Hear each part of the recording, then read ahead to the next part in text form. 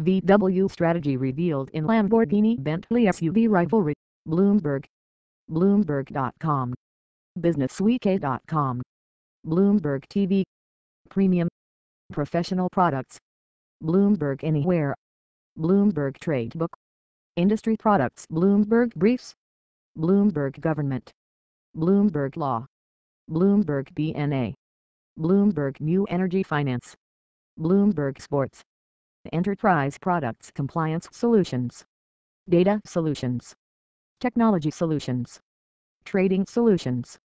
This site uses cookies.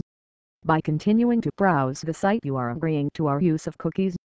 X Markup Snapshot US Europe Asia Ticker volume price price delta DJI 8 15376.10 plus 75.42 0.49% S&P 501687.99 plus 4.57 0.27% NASDAQ 3722.18 plus 6.22 0.17% Ticker volume price price delta S0XX 52867.11 plus 5.0 for 0.18% FTSE 106583.80 negative 5.18 negative 0.08% DAX 8509.42 plus 15.42 0.18% Ticker volume price price delta Nikkei 14,404.70 plus 17.40 0.12% Hang Seng 22,915.30 negative 38.4 for negative 0.17% S&P slash ASX 205,219.63 negative 22.91 negative 0.44%. Bloomberg. Our company. Professional. Anywhere news, opinion, markup data, personal finance, tech, politics, sustainability, luxury, TV, video, radio, Syria chemical arms to be destroyed in U.S. Russia deal. 305 Obama says strike threat aided Syria diplomacy. With Jackie O trusts, Waltons maintain fortune.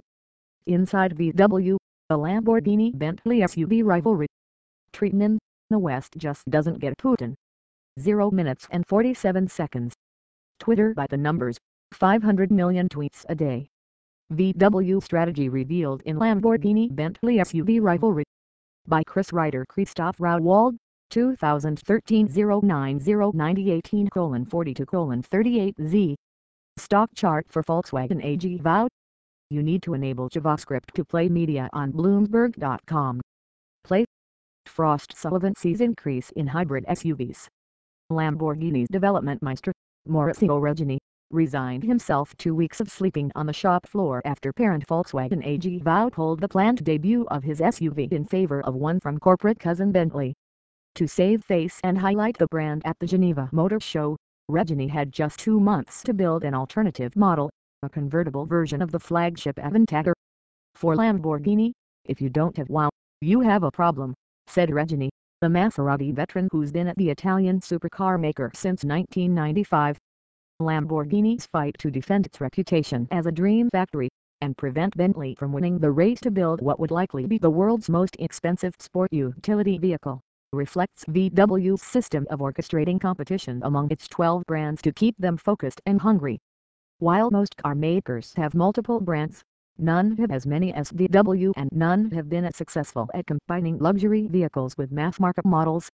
VW showcased the breadth of those offerings today at an event to upstage competitors ahead of the opening of the International Auto Show in Frankfurt, the industry's largest event in Europe this year. Brands from pragmatic Skoda to excessive Bugatti presented their driving visions at an arena with space for 5,000 spectators which included a performance from the electronic pop duo Pet Shop Boys. At the center of the action was Chief Executive Officer Martin Winterkorn. No windshield. The biggest risk to achieving our goals is losing focus on what got us here, and that's making the best cars on the market, Winterkorn, 66, said in an interview. You can only manage a multi-brand strategy like ours when you have the right technology, processes and people behind it.